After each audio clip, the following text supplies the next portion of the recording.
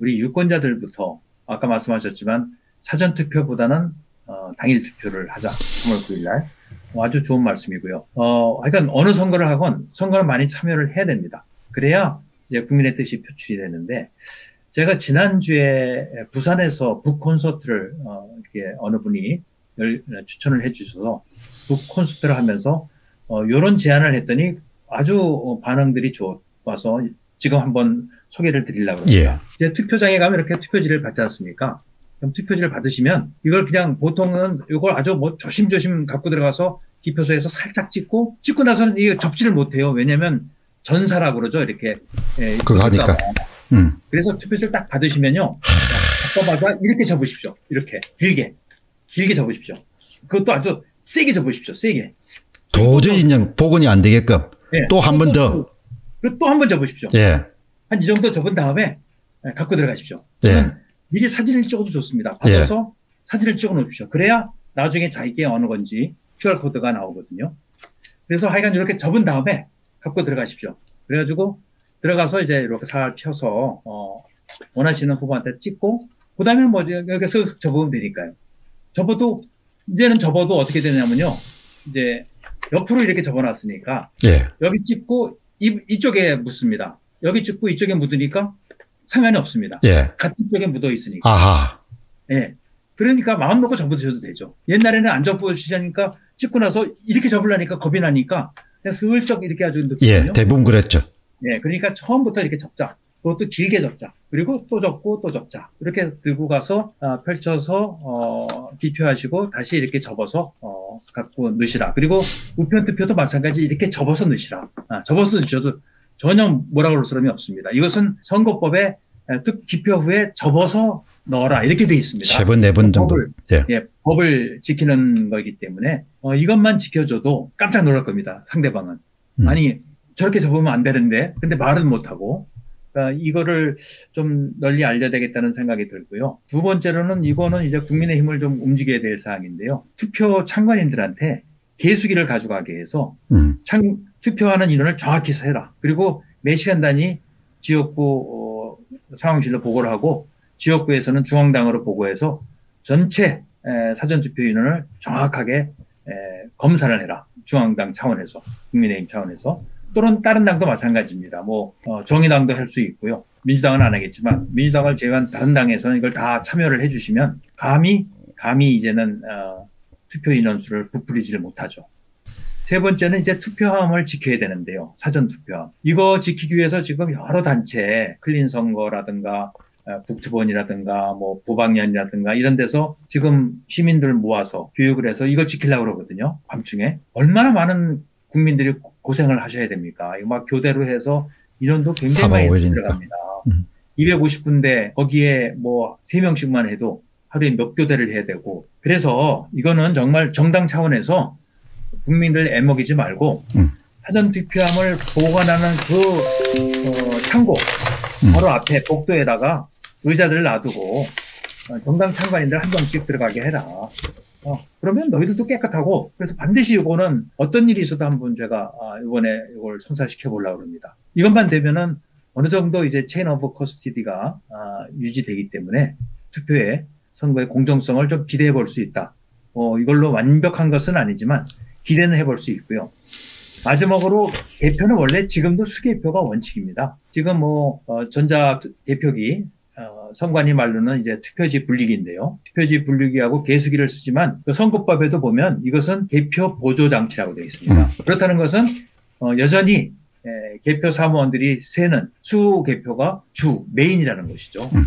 그러니까 그 수개표를 할 수 있도록 계속 동조를 하고 유도를 해야 됩니다. 왜 건성으로 보느냐? 정확하게 수개표를 해서 혼표라든가 장수가 부족하거나 많은 것을 빨리 찾아내라 이런 주문을 해야 되는 거죠. 저는 이것은 뭐 국민들의 당연한 권리고 또 참관인들이 해야 될 몫입니다.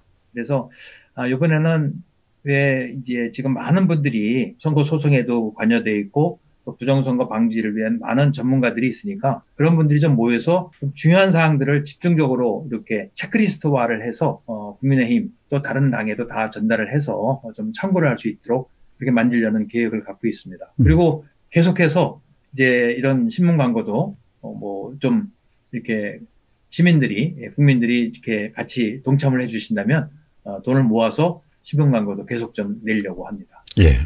자, 여러분 오늘 그 김형철 예비역 공군 장군님 중장이시니까 쓰리스타 출신입니다. 다른 군인들하고 달리 이제 사이로 총선이 끝나고 난 다음에 선거 무결승에 문제가 있다라고 판단하셔가지고 아주 노력을 많이 해오셨습니다. 여러분 그 사실 그 역사적으로 보면은 국가 권력이라는 것은 기본적인 속성이 폭력입니다. 폭력. 폭력이라는 다르게 이야기하면 다른 사람들의 자유를 억압하고 재산을 빼앗는 겁니다. 그게 국가 권력의 속성이자 특성입니다. 역사적으로 인간 본성 안에는 폭력성이란 야만성이라는 것이 있죠. 근데 그것이 권력을 쥐게 되었을 때는 절대 그 자신의 권력이 갖고 있는 속성과 특성을 스스로 제어하는 법이 없습니다. 그것은 인간의 특성이기도 하고 또 역사를 통해서 본 그런 정치 권력의 특성이기도 합니다. 그래서 왕정을부터 시작해가지고 다양한 종류의 정치 체제를 거쳐가지고 자유민주주의가 이루어질 때까지 그 소위 국가 권력의 폭력을 제어하기 위한 견제하기 위한 브레이크 시스템이 어느 정도 완성된 체제가 자유민주주의 체제입니다. 자유민주주의 체제의 가장 큰 중요한 특징은 공정한 선거를 통해 가지고 권력을 견제하는 겁니다. 국민들이 마음에 들지 않으면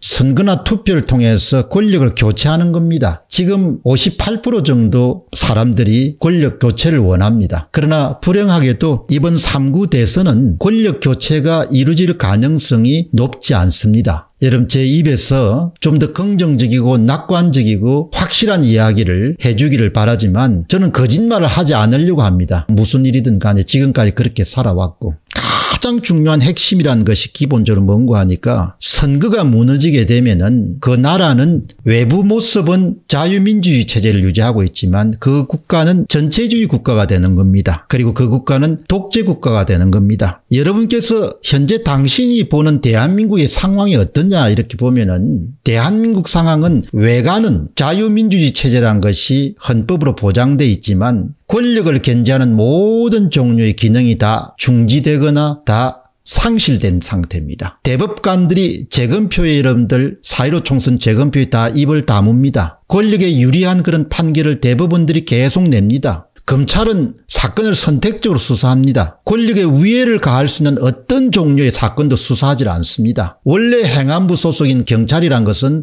우리나라에서 흥령사를 갖고 있는 겁니다. 철저한 권력의 하수인 놀이를 하는 겁니다. 국회는 2020년도 4.15 총선을 통해 가지고 완전히 장악이 됐습니다. 선거를 훔쳐 가지고 입법 권력을 장악한 겁니다. 지금은 모두 다 민주당이 원하는 법만 통과시킬 수 있는 겁니다. 여러분들이 갖고 계시는 그 소중한 수십 년 동안 피땀을 흘려서 만든 재산이라는 것은 그냥 법을 통해서 언제든지 뭡니까? 그렇게 수탈할 수 있고 약탈할 수 있는 체제가 완성이 된 겁니다. 어떤 사람은 독재국가의 초엽에 있다. 초엽에 있는 게 아닙니다. 길목에 있다. 길목에 있는 게 아닙니다. 대한민국은 독재국가가 된 겁니다. 대한민국은 선거를 장악한 그런 586 운동권 정치 세력에 의해서 국가가 납치가 된 겁니다. 하이제킹이 된 겁니다. 국가가 접수가 된 겁니다. 국민들 대다수가 종전선언을 원하지 않지만 정권 말기까지 종전선언을 계속해서 밀어붙인 것이 문재인 정권입니다. 미국이 만일 귀찮다 해서 그냥 용인했으면 종전선언이 되고 주한미군 철수가 다 되는 겁니다.